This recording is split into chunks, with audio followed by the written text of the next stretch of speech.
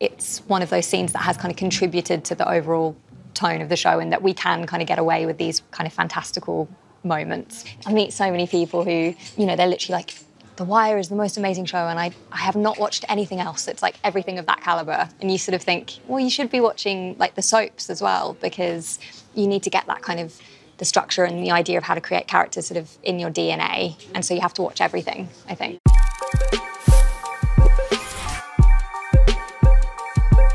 Originally, I really wanted to direct. That was sort of my passion. Like, I was really obsessed with films, basically, and making short films when I was in high school. And I applied for film school. I got in when I was um, quite young, and it was more of a focused on directing. And I used to make a lot of like quite experimental films that didn't have any dialogue in them, which is uh, interesting now. And then something kind of shifted. I started watching a lot of um, like box sets. You know, I really got into The Sopranos, Sex and the City. Um, Six Feet Under is absolutely a huge show for me, and I think that was really the moment where I was like, oh, like you can tell these stories over, you know, like a really long stretch of time and it could almost be like a novel and you could get people to like really fall in love with these characters and i think that was when it really shifted for me and i was like oh i think i really want to be a tv writer and then um, i applied to do a screenwriting masters in the uk and i got onto that and that was really the start you know, taking the script writing like seriously.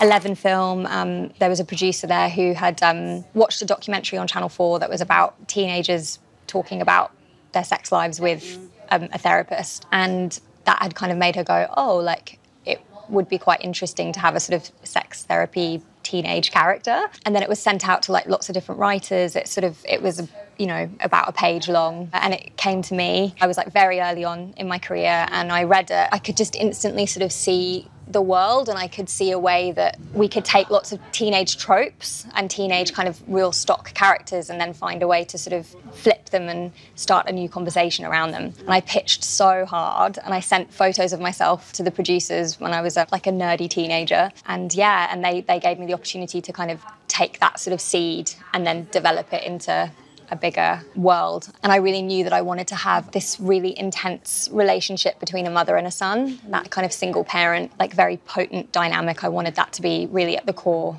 of the show. I've noticed you're pretending to masturbate, and I was wondering if you wanted to talk about it. The pilot script to Sex Education got written um, quite a few years ago, and we took it to lots of different channels um, in the UK, and I think it just wasn't the right moment. It wasn't the right time, and people didn't really know what to do with it. And I really thought that it had sort of died, and I'd kind of grieved those characters. I was like, they're, they're just going to stay on the page. They're never going to, you know, become a TV show. And then somebody at Netflix read it, and it it came back to life. Um, and it happened quite fast, actually. Like once Netflix read it, we really went straight into the writers' room. Like a few months, sort of after that, and then we're shooting not too long after that. So it was just, it was a bit of a roller coaster.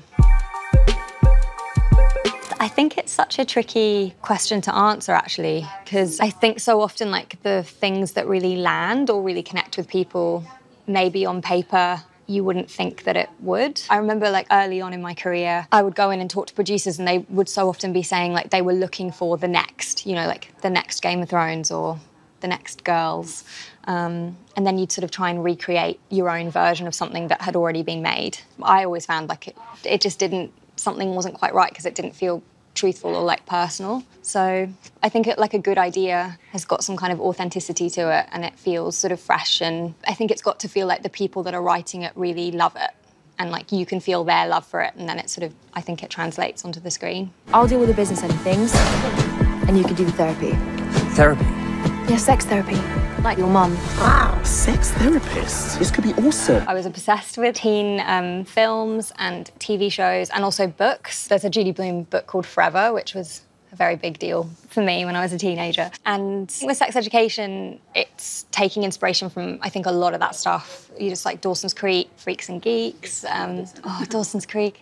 Um, the OC is a really big one for me as well. And then also films like 10 Things I Hate About You, some John Hughes, you know, Breakfast Club. So yeah, I think we're taking a lot of the kind of inspiration from it and then trying to kind of like update the conversation or sort of bring it into 2021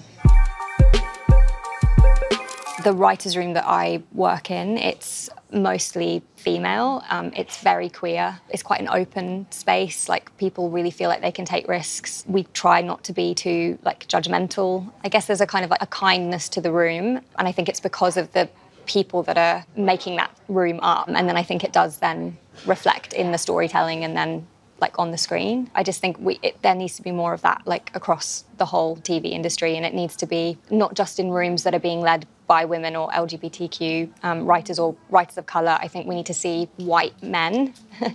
populating their room in a diverse way. Um, that's the only way that we're going to really start to see changes. I think for me, the comedy has always been the most sort of important part of the show. I think it sort of allows us to talk about more serious themes, I guess. And, um, you know, and I think in some ways the show does have an agenda. Like it's about trying to create a better conversation around sort of sex and relationships and um, consent, body positivity, all of that kind of stuff. Stop passively hearing and start actively listening. But I think we're allowed to do that because it's a comedy, so that people are also going to have a good time and it's entertaining and they're not going to feel like they're being preached to in any way. So when I'm writing, I'm always trying to think what's like the funny way into the storyline and also like sweet, like what's going to make it feel kind of tender and very like teenage and cringeworthy. So yeah, comedy definitely comes first. We are going to have sex. Can you calm down? Myself and my writing team, you know, we will have like a list of, I guess, sort of sex issues or problems or things that we think it would be really important to highlight. And then it's very much a kind of process of trying to work out who are the best characters to tell those stories with. It usually happens quite organically, like it, it sort of will find its natural fit. I had like incredibly bad sex education as a teenager myself. I went to quite a lot of schools. Like I'm, my mum moved around quite a lot when I was young, so I went to a lot of different schools, and it was just terrible everywhere I went.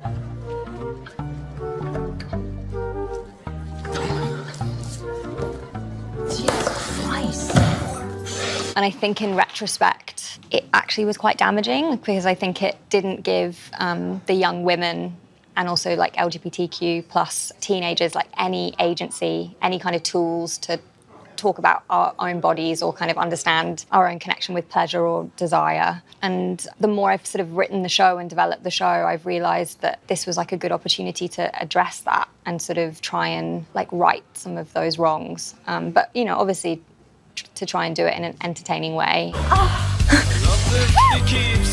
I think I'm ready to, you know, really. Because I do think it's really important that um, young people can turn on a teen show and see themselves reflected. And in order to do that, I think you need a lot of characters, you need a lot of diversity, and you've got to just look at it from different perspectives. When you're white and cisgendered, it's just a given that you're going to be able to watch a film or watch a TV show and you're going to see something that you can connect to kind of reflected back at you. I think maybe we don't really understand how that shapes the way that we feel in the world. And I think it feels actually like a real tragedy that there's all these other people who make up, you know, a huge percentage of the world that we live in, and they don't get to have that same experience. And I also think it's really important that people from LGBTQ um, communities, women, um, people of colour are also getting to tell their own stories and feeling empowered in that storytelling. Why are you so angry? Because we've been friends since we were nine years old and you've abandoned me for someone that you've known for five seconds. There is something to be said for having queer characters who are not completely defined by their queerness and making sure that they've got other things going on in their life, in their storylines. You know, they've got other emotional drives, you know, conflict with their parents or just a plain love story. I think that maybe helps it, uh, the characters sort of become more universal rather than sort of boxed in. The rule that I have in the show with the sex scenes is there shouldn't be any sex scenes in the show that are not telling us something new about the characters or pushing the story forwards. And in terms of working with the intimacy coordinators, what's been incredible about that is that that's really their job on set is to translate the story into a sex scene. You know, if you think that when you watch a film that's got like a huge big fight sequence, it's telling a story. It's not just, you know, you're not just watching it just to see people kind of being hacked up or stabbed. And I think it, it should be the same with a sex scene. Um, and that's really what the intimacy coordinators do. Like they obviously also do like incredible work to make everybody feel safe and making sure that they're working with like skeleton crews and um, everything is completely choreographed so everyone knows what's being touched when they're going to be touched. Um, how they want to be touched. It just makes so much sense. And if we had fight coordinators for so long, why did we not have intimacy coordinators? Where do you like to be touched? Above the waist. The writing team, we worked very closely with some disability consultants and then also with George Robinson, who plays Isaac himself. But I also think what's quite interesting with that scene is it obviously it's about sex and disability, but I think more than anything, it's actually about consent. It's really one of the scenes in our show that really shows like that you can have enthusiastic consent and it can still be, you know, like a fun, sexy thing. That is my vagina in the photo. Sit down. No, it's my vagina. Now, thank you, Maeve. Settle down, please. You're both wrong. It's my vagina. I knew that I wanted to tell a story about like, kind of revenge porn or um, like se- sexting gone wrong sort of thing because um, I, I think it's very sadly like something that a lot of young people are afraid is going to happen and that kind of threat sort of uh, lingers. But obviously we, i wanted to do it in a kind of a sex ed way so that it felt light rather than you know really dark. I think i just uh, the, the, the image just came to me of this sort of like i spartacus sort of moment and and seeing kind of all the girls and also Jackson, um, sort of like sort of stand up in solidarity for each other. It is my vagina. You don't have a vagina. You do not have a vagina in the same way that I do not have a vagina. It's my vagina. It's been quite interesting because I think that's a real moment of solidarity in series one, and then in series two we have the girls coming together to support Amy, and then in series three we're you know one step further, and it's really like the whole school coming together to sort of support each other. And so it's a sort of recurring theme, this idea that even though we're all very different and we might not all see eye to eye, like when it matters, let's sort of come together and show solidarity and allyship.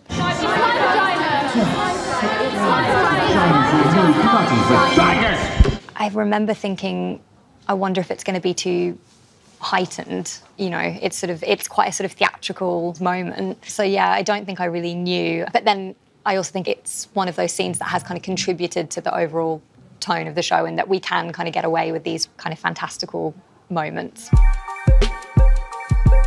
Me Too actually happened about, I think it was about three weeks after we did our writer's room for series one. And I remember so strongly this feeling of like just the world. It almost felt like we were all in a state of psychosis. And then we woke up. Like we all just went, oh, all of these things are happening to women every day and have been happening.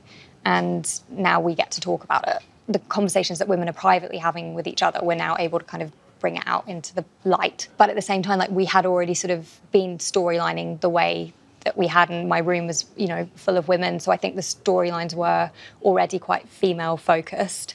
But I don't think that people maybe would have received the show as well if it wasn't for me too. So I think both things happened at the right time, if that makes sense. What are you doing? He's wanking on me! Can I get off the bus, please?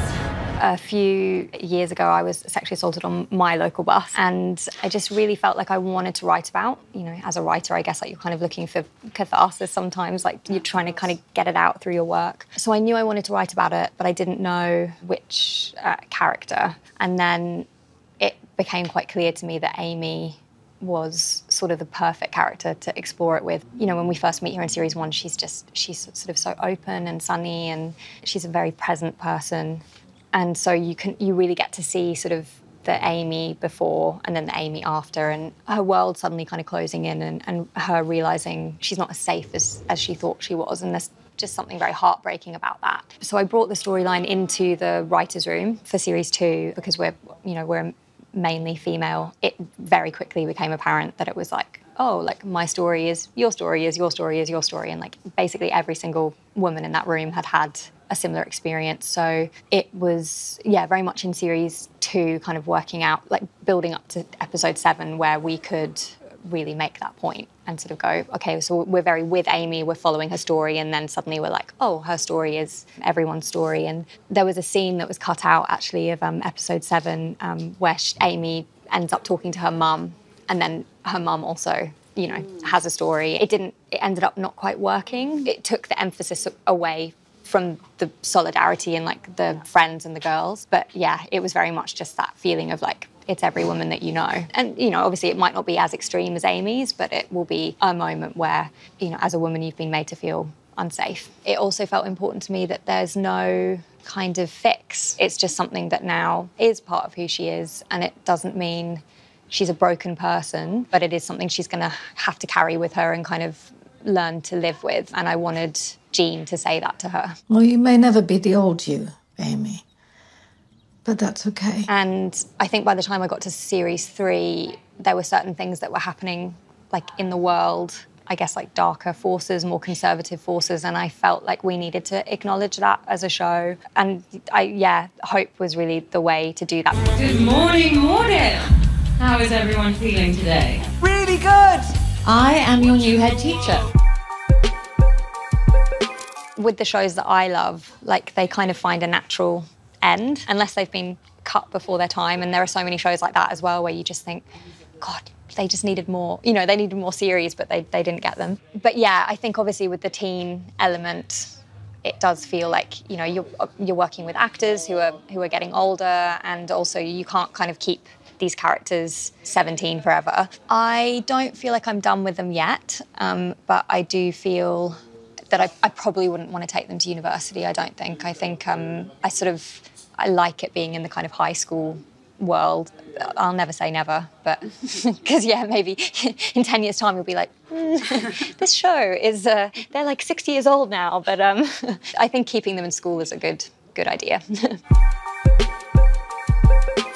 With writing, it's is just so much about patience and just trying to get into a habit of writing every day. But also, I really do think just like watching as much TV as possible. Like, I think if you want to write TV, you really have to love it. You have to love the medium and and not be a snob. I think you have to kind of watch everything and really kind of get to understand structure and like what structure really is. And uh, I don't know, like I meet so many people who, you know, they're literally like, and obviously The Wire is an amazing show, but they'll be like, the Wire is the most amazing show, and I, I have not watched anything else. It's like everything of that caliber. And you sort of think, well, you should be watching like the soaps as well, because you need to get that kind of the structure and the idea of how to create characters sort of in your DNA. And so you have to watch everything, I think. Yeah.